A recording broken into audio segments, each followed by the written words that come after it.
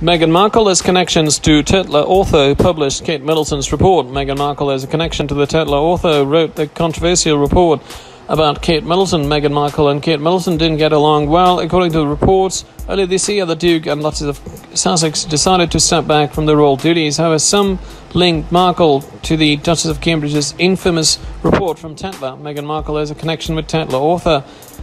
Meghan Markle has some connections with Anna Pasternak, the Tatler author who wrote the controversial report about Kate Middleton. According to Daily Mail, Pasternak is friends with ex Tatler journalist Vanessa Mulroney, Vanessa is the sister in law of Markle's BFF, Jessica Mulroney. Due to their connections, there were speculations that the Duchess of Sussex had something to do with the controversial report from Tatler.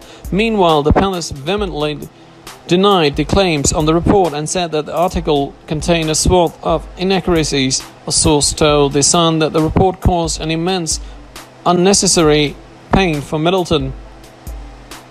The Duchess of Cambridge was upset about the claims that she was feeling trapped in the palace. However, Pasternak stood by a report. Pasternak is sticking to her story and saying her sources are good. She's very well connected in the US. She's friends with Vanessa Mulroney, who used to work at Tatler and now lives in Canada, the source aid.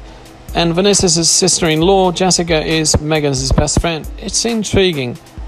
Tatler's controversial story revisited last week. A report from Tatler shocked the Kensington Palace. It published a report calling Middleton Catherine the Great while announcing that Middleton will appear on its July August cover. However, the article also included quotes from unnamed sources said that Middleton was exhausted and feeling trapped in the palace.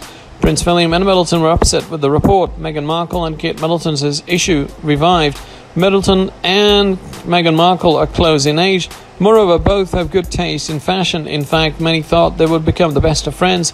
Apparently, that didn't happen. Contrary to the expectations of royal fans, Middleton and Markle reportedly didn't get along well. Just recently, an insider claimed that Markle had a diary when she was in the palace. The Duchess documented how her stay at the palace was, including Kate Middleton's alleged coldness towards her. Despite Meghan's efforts to be nice, Kate would not speak to her for weeks. Her silence was scary, the source said. Meanwhile, Victoria Martha claimed that Middleton was among the reasons Markle turned her back from the royal family. The Vanity Fair's royal watcher said that Prince Harry's wife didn't want to spend the rest of her life looking at Middleton's back as she sat in the second row to the future queen.